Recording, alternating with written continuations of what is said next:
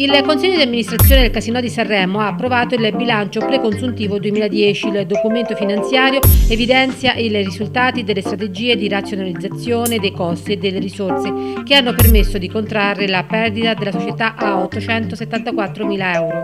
La perdita complessiva di 1.680 mila euro è dovuta per quasi il 50% alle imposte. I costi di produzione hanno registrato un'ulteriore contrazione di quasi il 6%, indice di una gestione oculata, rispettosa rispettosa delle necessità espresse dall'azionista di riferimento e al tempo stesso equilibrata con le aspettative di rilancio aziendali.